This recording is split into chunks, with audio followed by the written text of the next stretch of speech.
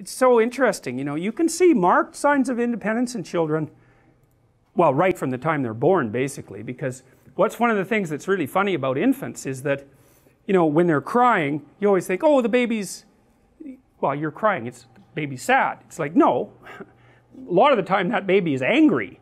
And the way that we know that is because you could do facial expression coding on infants, just like on, on adults, and you can tell what emotion they're expressing. And very frequently, like when the kid starts to recognize his mom explicitly, because he or she knows the smell right away, pretty much in the sound of the voice, but visually, um, if someone who comes in and it isn't who the baby wants, so generally it isn't mom, the baby will start to cry. But it's not because the baby's sad, generally, it's because it's angry that mom didn't show up. And that's an early sign of will. It's like this kid has, this kid wants things, like, and it's perfectly willing to tell you about that. And of course, a two year old who's having a temper tantrum is in some sense doing the same thing. It's poorly integrated will and independence, obviously, but it certainly runs contrary to what you want. You don't want your two year old having a temper tantrum in the middle of the toy store. It's extraordinarily embarrassing for you and, well, for you, but it's also embarrassing for the two year old. This is one of the th reasons I think that that sort of thing should be